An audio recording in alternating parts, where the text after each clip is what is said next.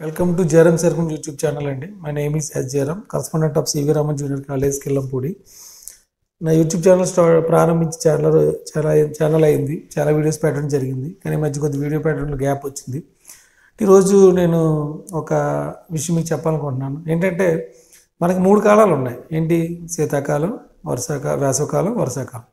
ఈ మూడు కాలాల్లో మానవ జీవితం మీద మానవుని ఎక్కువగా ఇబ్బంది పెట్టే కాలం ఇది. అంటే ఎక్కువ ప్రజలు ఇబ్బంది పడే కాలం ఇది. అని మనం ఆలోచిస్తే శీతాకాలం అని హండ్రెడ్ పర్సెంట్ మనం చెప్పొచ్చు. ఎందువల్లంటే ఇప్పుడు సపోజ్ వేసవి శీతాకాలం ఎందుకు ఇబ్బంది అంటే మనకి మన body temperature thirty six Celsius ఉంటుంది.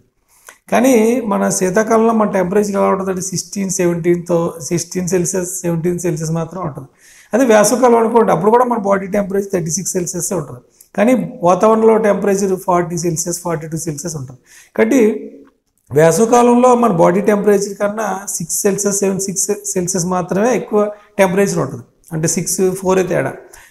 కానీ అయినప్పటికీ మనం ఎక్కడికైనా బయటికి వెళ్ళినప్పుడు మన దానివల్ల మనకి ఏమవుతుందంటే ఒక్కపోత ఈ చెమటలు పెట్టడం అలాంటివి జరుగుతుంది. కానీ మనం బయటికి ఎక్కడికైనా వెళ్ళినప్పుడు మన చెమటలు చల్లార్చుకోవడానికి ఒక్క ఒక్కపోతని కంట్రోల్ చేసుకోవడానికి ఫ్యాన్స్ ఉంటాయి లేదా ఏసీలు ఉంటాయి లేదా మనం ఏదో బైక్ మీద వెళ్ళేటప్పుడు లేకపోతే ప్రశాంతమైన వాతావరణ గాలి కూడా మనకు వేయడం జరుగుతుంది. కానీ శీతాకాలం ఏమవుతుందంటే మన body temperature thirty six Celsius కానీ మన వాతావరణ టెంపరేచర్ సిక్స్టీన్ సెవెంటీన్ సెల్సియస్ ఉంటుంది. అంటే థర్టీ సిక్స్ ఎక్కడ సిక్స్టీన్ ఎక్కడ? అంటే ట్వంటీ సెల్సియస్ టెంపరేచర్ తేడా. కాబట్టి ట్వంటీ సెల్సియస్ టెంపరేచర్ తేడా కాబట్టి ప్రజలే కాకుండా శీతాకాలంలో అన్ని జీవరాశులు చలికి ఇబ్బంది పెట్టడం అనేది మనం జరుగుతుంది. మనం చూస్తాం మార్నింగ్ లేసి కుక్క పిల్లలు ఉడికేస్తే ఎన్నో జీవరాశులు మనకి చలి చలి ప్రభావం అలా ఫేస్లో మనకి చూస్తుంటాం.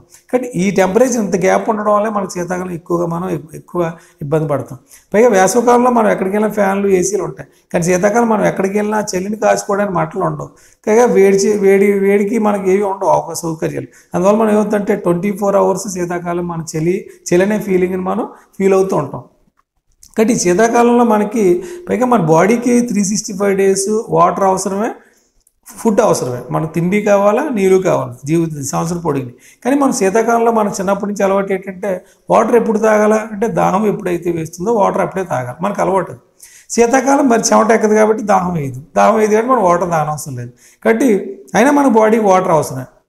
ఈ వాటర్ శీతాకాలంలో ఎక్కువ తాగ తాగకపోవడం వల్ల చెమట ఎక్కకపోవడం వల్ల మన బాడీలో ఉన్న వాటర్ లెవెల్స్ ఓన్లీ ఒక యూరిన్ ద్వారానే బయటికి వెళ్తాయి.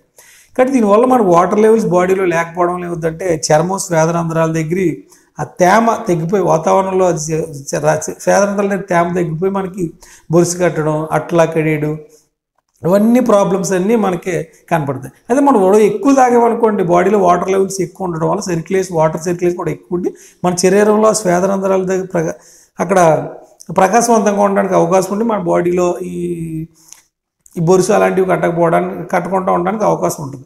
మీరు అబ్జర్వ్ చేశారో లేదో చిన్నపిల్లలు ఒక సిక్స్ మంత్స్ ఎయిట్ మంత్స్ పిల్లలు వన్ ఇయర్ లోపు పిల్లలకి మీరు బొరుసు కట్టదు వాళ్ళ చర్మం. వాళ్ళకి ఎందుకు కట్టదంటే వాళ్ళు ఎక్కువ తెల్లిపాలు తాగుతారు. తెలిపాలంటే అంటే సమతుల్య ఆహారం. సమతుల్య సంపూర్ణ ఆహారం కంటే అందులో విటమిన్స్ మినరల్స్ అన్నీ ఉంటాయి. అవన్నీ బాడీకి చిన్నపిల్లడి బాడీకి అన్ని సంపూర్ణ అందరూ రోజుకి ఏవైతే అవసరమో బాడీకి అన్నీ అందడం వల్ల పిల్లవాడికి బొరుసుపోవడం అదే బొరుసు కట్టడం కానీ అలాంటివి ఏమీ లేవు.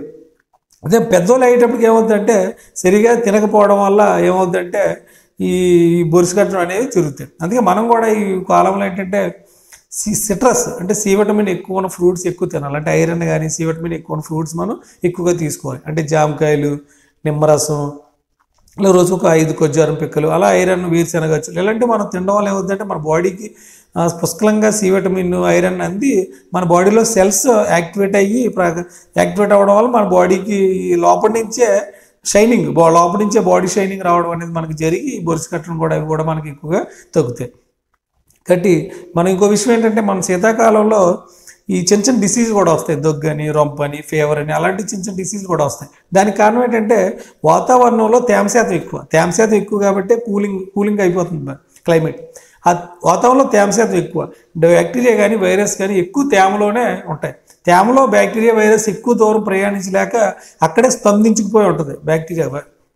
కానీ శీతాకాలంలో మనం తీసుకునే గాలి కూడా చల్లగానే ఉంటుంది. అంటే మనం తీసుకునే శ్వాస కూడా చల్లగానే ఉంటుంది కాబట్టి ఆ శ్వాసతో పాటు ఈ వాతావరణంలో ఉన్న బ్యాక్టీరియా వైరస్ మనకు మన బాడీలోకి వెళ్ళి వీటిలో చిన్న చిన్న ఇన్ఫెక్షన్లు దగ్గని రొప్ప అనేవన్నీ రావడం జరుగుతుంది. కాబట్టి వీటిని మనం ఎదుర్కోవాలంటే ఏం చేయాలంటే మన బాడీలోంచి మన బాడీలోకి బయట వాతావరణంలో ఉన్న టెంపరేచర్ కానీ చలి కానీ తేమ కానీ మన బాడీలోకి వెళ్ళడానికి ప్రధానంగా మూడే మూడు మార్గాలు. ఒకటి ఏంటంటే చెవులు రెండు ముక్కు మూడు నోరు. ఈ మూడింటి ద్వారా వాతావరణంలో ఉన్న తేమ మన బాడీలోకి వెళ్తుంది అనమాట కాబట్టి మనం శీతాకాలంలో ఎక్కువ అంటే మనం బయట ఏదైనా అవసరానికి వెళ్ళినప్పుడు ఎక్కువ జర్నీ జర్నీ చేసేటప్పుడు కానీ చెవులు ముక్కు నోరు కవర్ చేసుకోగలిగితే ఈ తేమ మన శ్వాసతో పాటు తేమ వెళ్ళడానికి అవకాశం కంట్రోల్ చేసుకోగలిగితే మనకి చిన్న చిన్న- అలాంటి చిన్న చిన్న డిసీజులు కూడా మనకి రాకుండా ఉంటాయి. కాబట్టి చిన్నపిల్లలు కూడా మనం వాటిని చె- చెవులు మూయడం అని చెవులు గట్ట క్లోజ్ చేస్తే ఆ చెలిగా లోపలికి వెళ్ళకపోవడం వాళ్ళకు కూడా ఇన్ఫెక్షన్ మనం తగ్గించిన వాళ్ళవి అవుతాం అనమాట ఇక్కడ శీతాకాలంలో ఈ టెంపరేచర్లో ట్వంటీ సెల్సియస్ గ్యాప్ వల్లే మనకి బాడీ అడ్జస్ట్ అవ్వకపోవడం వల్ల ఎక్కువ ఇబ్బంది పడతాం. ఇక్కడ దీనికి జాగ్రత్తలు తీసుకొని తిండి తిండి ఎక్కడ మనం తగ్గించుకుంటాం. పైగా ఇక్కడ ఏమవుతుందంటే సాయంత్రం సూర్యాస్తమయానికి మార్నింగ్ సూర్యోదయానికి మధ్య గ్యాప్ ఎక్కువ.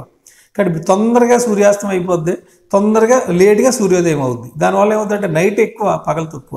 కానీ నైట్ ఎక్కువ కాబట్టి మనం ఏం చేస్తామంటే నైట్ ఎక్కువ పడుకోవడానికి అవకాశం ఉంటుంది. పడుకునే ఎక్కువ పడుకునే అవకాశం ఉంది కాబట్టి ఎక్కువ పడుకోవడం వల్ల కూడా లేజినెస్ పెరిగిపోవడం బాడీలో బాడీ పెయిన్స్ అనేవి రావడం అలాంటివన్నీ జరగడానికి కూడా అవకాశం ఉందన్నమాట. కాబట్టి మనం బాడీ మార్నింగ్ మనం ఎల్లీగా లేచి ఒక ఫిఫ్టీన్ మినిట్స్ అందరూ లేడీస్ అయితే జెంట్స్ అయితే ఫిఫ్టీన్ మినిట్స్ మనం అక్కడక్కడే తిరగలిగితే మన బాడీలో వీటు పుట్టి మన బాడీలో వీటు పుట్టి ఆ స్వేదనందల ద్వారా చెమట రావడానికి ట్రై చేస్తుంది కనీసం చె స్వేదనందరాల కన్నా చెమట రావడానికి అవకాశం ఉంటుంది కాబట్టి ఆ బాడీ ఆ స్వేదనంధ్రాల దగ్గర కొద్దిగా క్లీన్ క్లీన్ అయ్యి మనకి ఈ బొరుసులు అవన్నీ కట్టకపోవడానికి కూడా అవకాశం అనేది ఉంటుందన్నమాట. కాబట్టి మనం water twenty four hours three sixty five days మన బాడీకి అవసరం వాటర్ అవసరమే. వాటర్ మాత్రం తగ్గించకండి. ఫుడ్లు కానీ విటమిన్స్ కానీ అవన్నీ బలమైన ఫుడ్ తీసుకుంటే ఇలాంటి కంప్లైంట్లు అన్నీ మనం దూరం కూడా వచ్చాయి